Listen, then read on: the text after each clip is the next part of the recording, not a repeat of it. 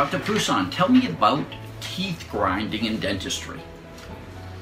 Teeth grinding is, a, very interesting subject, Gary, and, and, thanks for having me on today. Um, but basically, it can be across any age group, and it's mostly on a subconscious level. Like I will look in somebody's mouth and see evidence of really severe teeth grinding and wear and fractured teeth and everything. And, and I'll ask the patient about uh, their awareness of that situation. And it's like well I'm sure I don't do that. I mean nobody knows they do it. And then I ask them to develop an awareness. Just catch yourself during the day.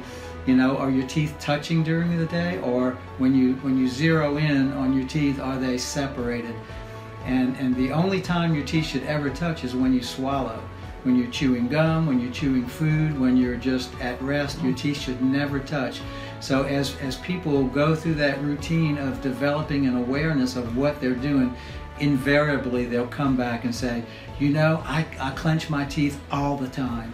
And, and it's just developing an awareness of what goes on. So, so truly, it, it is kind of on a subconscious level, and people aren't aware that they're doing it, but but as mouth professionals, we look in there and we, we can see the destruction going on, and, and so we try to point it out to patients. And it happens a lot at night also, right?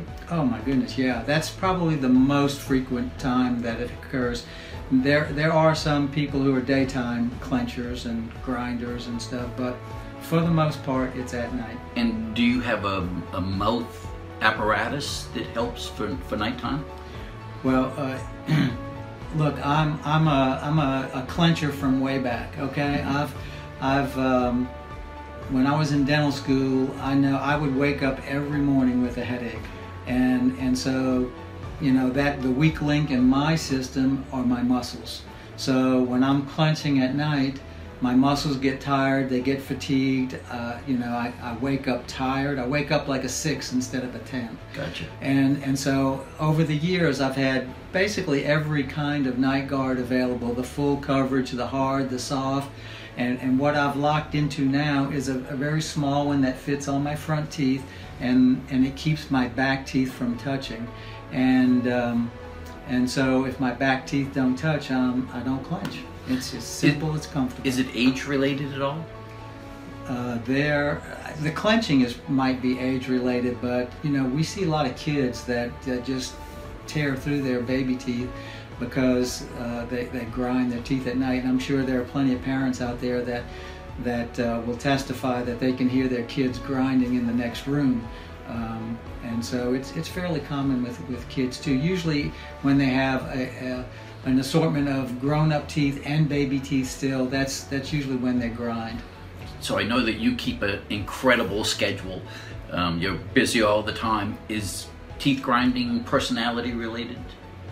Oh, it, that's that's one of the contributing factors for sure. Absolutely. So they should come in and see you, take a look, and maybe get rid of the headaches and get rid of the stress as well with the mouth guard. Well, that you know that's really one of the the, the real satisfying things of, of our job is when patients come back in after fitting them with a night guard and they said, I have not had a headache since I started wearing my night guard and I used to wake up with migraines all the time. Wow. I mean, you've, you've changed somebody's life. It's, it's truly amazing. Well, well, come in and see us, Pousson Family Dentistry here in Slidell.